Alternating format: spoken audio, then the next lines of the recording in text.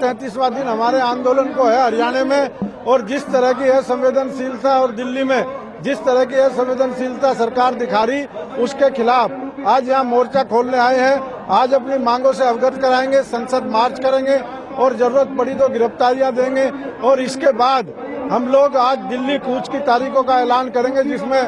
तेरह राज्यों के 50 लाख से ज़्यादा जाट अपने ट्रैक्टर टोलियों के साथ शामिल होंगे और उसके बाद एक ऐतिहासिक मोमेंट वो होगा और वो तब तक चलेगा जब तक मांगे नहीं मानी जाएगी। आज तो वैसे ही यह व्यवस्था फैल गई लेकिन आने वाले समय में जिस दिन दिल्ली कूच होगा जिस दिन दिल्ली कूच होगा उस दिन सभी चीज़ों की सप्लाई भी बाधित होगी।